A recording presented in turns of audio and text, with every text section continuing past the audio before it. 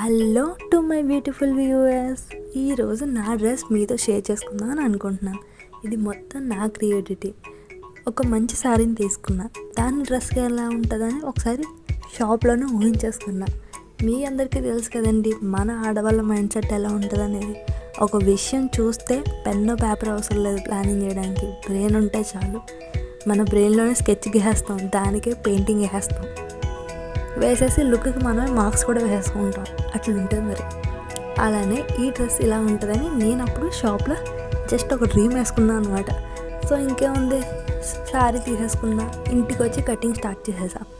Cutting అయితే మానేయండి. Video కూడా తీద్దామని అనుకున్నా. ఎక్కడ? మా కిడ్స్ ఉన్నారు కదా.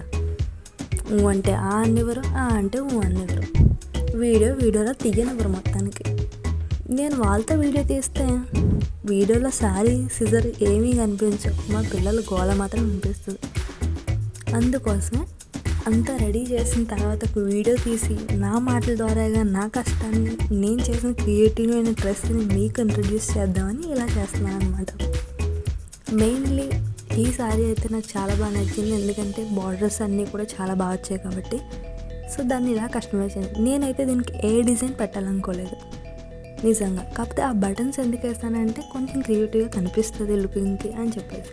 అవి చాలా హ్యాండ్మేడ్ బటన్స్ అండి. మనం ఒక చిన్న క్లాత్ని స్టిచ్ చేసి దాంట్లో క్లాత్స్ పెట్టి బటన్స్ కింద కూడా రెడీ చేయొచ్చు. మనకు అనిపించాలి కానీ చేయలేదంటూ ఏమీ ఉండదు. అలానే గౌన్కి బటన్స్ వేసాను మా పాప దానికైతే నార్మల్ బటన్స్ తీసుకొని దాన్ని క్లాత్తో స్టిచ్ చేసి తర్వాత ఫ్రాక్ అటాచ్ చేశాను అనమాట మెయిన్లీ ఒక్క మాట. ఏదన్నా మన మనసుకు నచ్చినట్టు చేయాలి. అది వేరే వాళ్ళకి నచ్చిందా లేదా అన్నది మనకు అనవసరం. మనకు నచ్చిందా? మనం అది వేసుకుంటే హ్యాపీగా ఉన్నామా? మెయిన్ మన కంఫర్ట్ ఉందా అందులో? అన్నది మెయిన్.